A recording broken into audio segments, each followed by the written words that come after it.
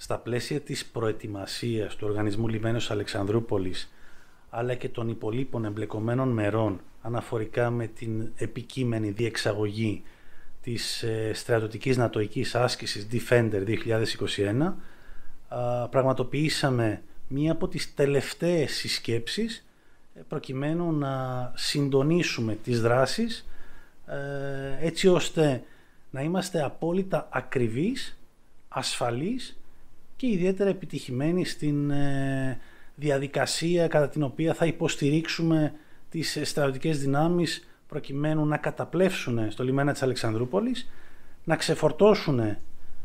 οχήματα και containers και να τα αποστείλουμε με ασφάλεια στον τόπο προορισμού ο οποίος ε, βρίσκεται στη Ρουμανία. Καταρχάς πρόκειται για μια δυσάρεστη εξέλιξη αναφορικά με το σιδηροδρομικό δίκτυο ε, του νομού Εύρου καθότι η πρόσφατη κακοκαιρία δημιούργησε σοβαρά, σοβαρές ζημιές σε δύο σημεία τα οποία εντοπίζονται στον ε, πόρο και στην παραλία της Άνθιας Αρίστινου όπου είναι και το μεγαλύτερο πρόβλημα. Αυτό μοιραία μας αναγκάζει,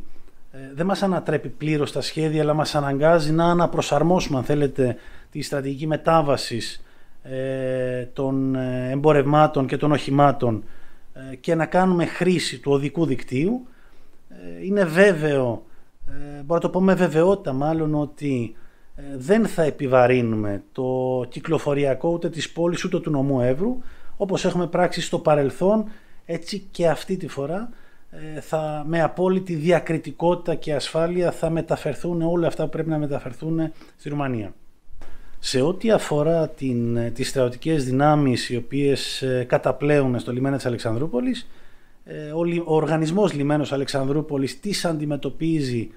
όπως αντιμετωπίζει έναν ή οδήποτε πελάτη, ο οποίος ζητά να κάνει χρήση ε, του νέου εμπορικού λιμένα, ε, ζητά να κάνει χρήση της, της προβλήτας, ζητά να του παρέχουμε συγκεκριμένες ε, υψηλής ποιότητας υπηρεσίες ε, και ζητά να πραγματοποιήσει κινήσεις εκφόρτωσης ή φόρτωσης εντός του λιμένα της Αλεξανδρούπολης. Άρα για να απαντήσω πρόκειται για μια ιδιαίτερα επικερδής διαδικασία για τον οργανισμό λιμένος Αλεξανδρούπολης ε, δεν σας κρύβω ότι πρόκειται να συνεισφέρει τα μέγιστα στην ε, βελτίωση, στην περαιτέρω βελτίωση της κερδοφορίας του οργανισμού λιμένους και σε κάθε περίπτωση ευελπιστούμε και προσδοκούμε και επιδιώκουμε για την ακρίβεια μέσα από συγκεκριμένες ενέργειες ε, σε συνεργασία με την ελληνική κυβέρνηση και τα υπουργεία που σχετίζονται με τις συγκεκριμένες δραστηριότητες να μεγαλώσουμε τις αφήξεις αυτές ε, εποφελεί αν θέλετε του οργανισμού και του ίδιου του λιμένα.